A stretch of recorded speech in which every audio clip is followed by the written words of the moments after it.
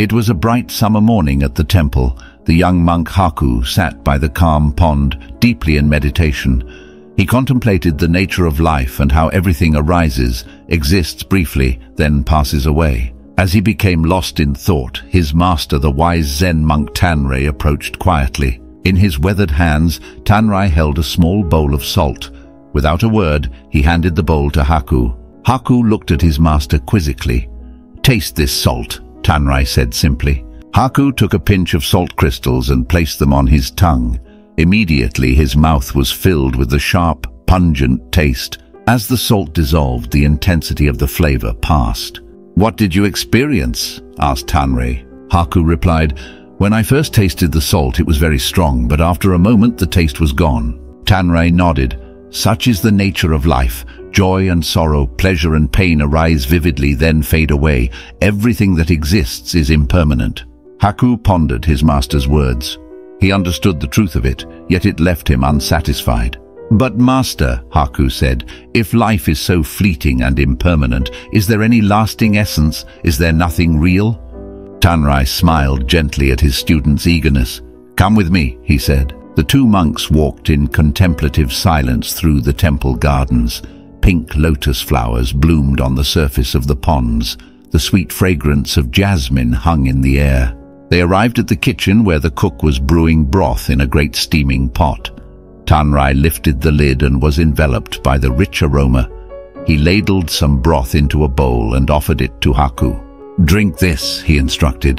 Haku sipped the savory broth. Complex flavors blossomed on his tongue, tender vegetables, earthy mushrooms, hints of garlic and ginger. Although the individual ingredients fade away, there is an enduring essence, mused Tanrei. So it is with life. Each moment arises and passes, but the true nature remains unchanged.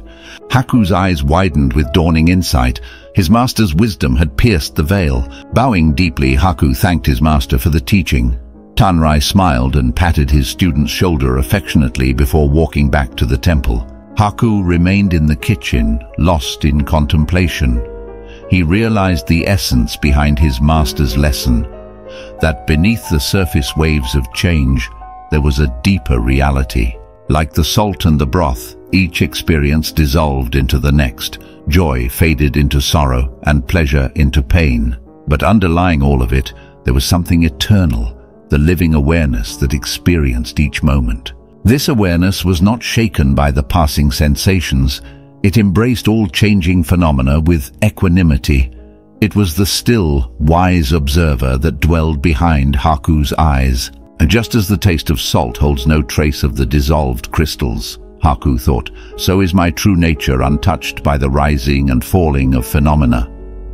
What seemed like an endless cycle of birth and death was but the ocean's waves, and he was the ocean. As Haku immersed himself in this realization, everything became clear. The illusory walls between self and other melted away. In that instant, he grasped the essence of life, that beneath the surface lies a timeless being. A sense of profound peace enveloped Haku, how simple it was, yet how elusive. All his years of seeking had culminated in this moment of wordless understanding. With a lightness in his step, he walked to the pond and knelt by its tranquil edge. The face reflected back at him was the same, yet somehow changed. Behind the eyes was an ancient wisdom that the salt had unlocked, Haku cupped the cool water in his hands and took a drink. The pond's essence flowed through him, wave returning to ocean. All was as it should be. The old monk Tanrei watched his student from the temple steps. Seeing the transformation in Haku, a smile creased his worn face. His task was complete. The fruit was ripe, the lesson learned, not through words or logic, but through the simple taste of salt. Such was the genius of Zen, in the mundane was hidden the sacred, in a grain of salt the sea was revealed. Tanrei turned and walked slowly back inside, leaving Haku to contemplate the pond in peace. The morning sun warmed the stones of the silent temple. Somewhere a bird began to sing, two notes rising and falling. This is Narrative Dreamscape. Thanks for watching.